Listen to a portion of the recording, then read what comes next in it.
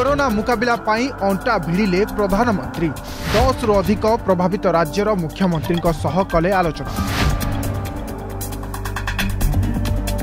Oxygen supply ଉପରେ ସବୁଠୁ ଅଧିକ ଗୁରୁତ୍ୱ। ଗ୍ୟାସ୍ ନିର୍ମାତାଙ୍କ ସହ ମଧ୍ୟ ହେଲେ କଥା।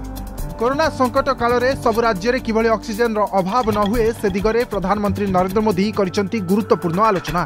ଦେଶର ଦଶ ରାଜ୍ୟର ମୁଖ୍ୟମନ୍ତ୍ରୀଙ୍କ ସହ କରୋନା ମୁକାବିଲା ନେଇ କରିଛନ୍ତି ଆଲୋଚନା। ଖାସ୍ କରି ଅକ୍ସିଜେନ୍ ସପ୍ଲାଇ ଓ ବେଡ୍ ସଂଖ୍ୟାକୁ ଅଧିକ ଗୁରୁତ୍ୱ ଦେଇଛନ୍ତି ପ୍ରଧାନମନ୍ତ୍ରୀ।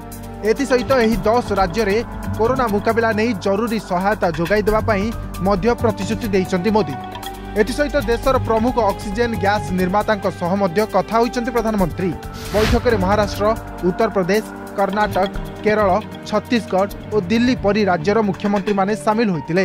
ସେପଟେ ପଶ୍ଚିମବଙ୍ଗରେ ହେବାକୁ ଥିବା ରାଲିକୁ ବାତିଲ ମଧ୍ୟ କରିଦେଇଛନ୍ତି ପ୍ରଧାନମନ୍ତ୍ରୀ। କରୋନାର ଭୟାବହତାକୁ ଦେଖି ଏଭଳି ନିଷ୍ପତ୍ତି ନିଆଯାଇଛି। ଏପଟେ ଅକ୍ସିଜେନ୍ର ଯୋଗାଣ ନେଇ ପ୍ରଧାନମନ୍ତ୍ରୀ ଗୁରୁବାର ଏକ ଉଚ୍ଚସ୍ତରୀୟ ବୈଠକ ଡାକିଥିଲେ।